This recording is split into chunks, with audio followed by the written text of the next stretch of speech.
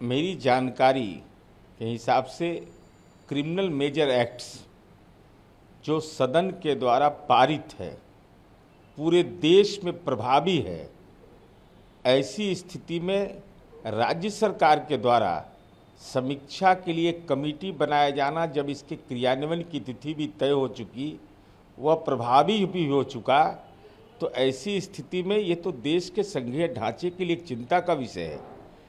कि केंद्र सरकार द्वारा जिस कानून को पार्लियामेंट ने पारित करके बनाया, केंद्र के द्वारा कोई भी राज्य सरकार को इस संबंध में छूट प्रदान नहीं किया गया है। और ऐसी स्थिति में ऐसे द्रष्टव्य आना, ये निश्चित रूप से संघीय ढांचे का और संविधान विशेषज्ञों को भी अपनी राय देनी चाहिए। बीजेपी नेता शुभेंदु अधिकारी ने कल एक बयान दिया, जिसमें उन्होंने कहा कि हमारा नारा था सबका साथ, सबका विकास।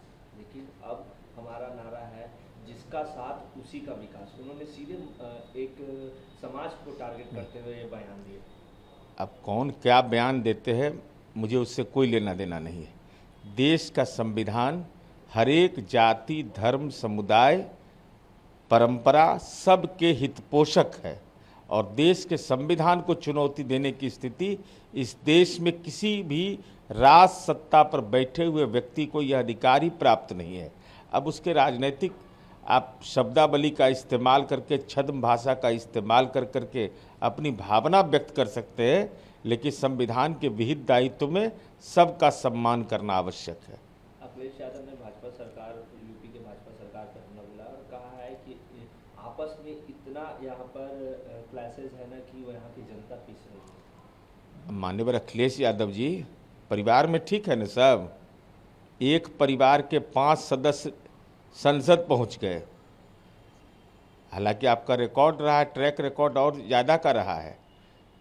गठबंधन के अंदर अंतर विरोध क्या है कि अगर एनडीए विरोधी ताकतों को एकजुट करने की बात हो, तब मुंडे मुंडे मते भिन्ना उत्तर प्रदेश में रहा है। अब ऐसी में आप दूसरे के घर में अगर देख तनाव देखना चाहते हैं तो अपने घर में तनाव को जरा सा अवलोकन कर लीजिए। जयराम रमेश ने कहा है कि 2014 से कम निवेश के चक्र में बंद है। निवेश नहीं हो रहा भारत में मैं माननीय जयराम रमेश जी से जानना चाहता हूँ कि डॉक्टर मनमोहन सिंह की आर्थिक नीति आने के बाद दुनिया के अंदर में वैश्वीकरण की प्रतिस्पर्धा के बाद सार्वजनिक क्षेत्र की कंपनियों पर जिस तरीके से कांग्रेस पार्टी ने विनिवेश के नाम पर उसको बंद कर दिया। इसे बिहार में ही भारत बैगन की कंपनी हो एनटीसी की कंपनी हो एमडीपीएल की कंपनी हो, उसके बावजूद आप निवेश की बात करते हैं। आपने तो सार्वजनिक क्षेत्र की कंपनियों को विनिवेश के नाम पर उसको बेच डाला और अब आप निवेश के, का प्रवचन करते हैं तो मन में चिंता होता है कि डॉक्टर मनमोहन सिंह की नीति से आप असहमत हैं क्या? विकासशील इंसान, पार्टी के सुप्रीमो मुकेश सहनी के पिता की हत्या कर दी जाती है उसको लेके अधीक्षक ने उद्भेदन भी किया है कि पैसे का लेन देन का मामला था और उसमें गिरफ्तारी भी कर ली गई देखिए, विकासशील इंसान पार्टी के मान्यवर मुकेश सहनी जी के पिता की जिस निर्मम तरीके से हत्या की गई वह निश्चित रूप से चिंता का विषय है और 48 घंटे के अंदर में एक ब्लाइंड केस, जिसका न कोई इन्फॉर्मेंट था, न कोई गवाह था और पुलिस ने तमाम तथ्यों का खुलासा कर दिया है। तो निश्चित रूप से एक महत्वपूर्ण पक्ष है, लेकिन हमारी चिंता यह है कि अड़ता, कि चौदह घंटे के बाद माननीय तेजस्वी यादव अपने राजनीतिक सहयोग, सहयोगी मुकेश सहनी के पिता श्री जी की हत्या के बाद एक शब्द संवेदना के ट्विटर के माध्यम से व्यक्त करने में लग जाता है। तो यह लगता है कि प्रशासन तो संवेदनशील है लेकिन विकासशील इंसान पार्टी की राजनीतिक सहयोगी राजद संवेदनहीन है। दिल्ली उच्च न्यायालय ने उत्पाद शुल्क मामले में सीबीआई द्वारा अरविंद केजरीवाल की गिरफ्तारी को चुनौती देने वाली याचिका पर आदेश सुरक्षित कर दिया है।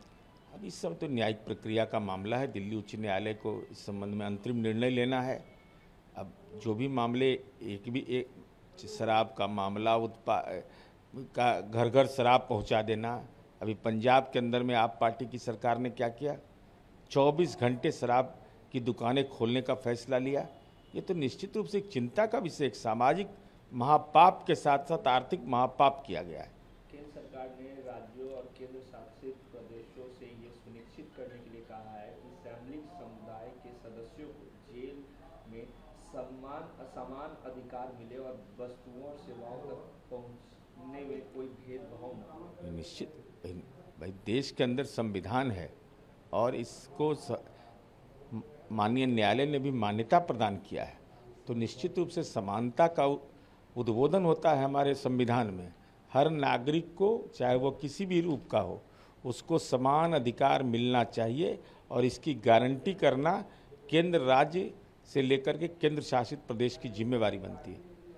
20 तारीख को इंडिया गठबंधन के तमाम जो पार्टियाँ हैं, उनके नेता हैं, वो जिला मुख्यालय में प्रदर्शन करेंगे, बिहार में बढ़ते अपराध लोकतंत्र में विरोधी पक्ष को अपना आंदोलन करने का अधिकार है, लेकिन मैं ट्विटर बबुआ से यह तेजस्वी यादव से यह जानना चाहता हूँ कि पूरे बिहार के अंदर में शिक्षक पात्रता, शिक्षक परी, भर्ती परीक्षा तीसरे चरण का होना है तो आप उसको बाधित करना चाहते हैं बीस तारीख को।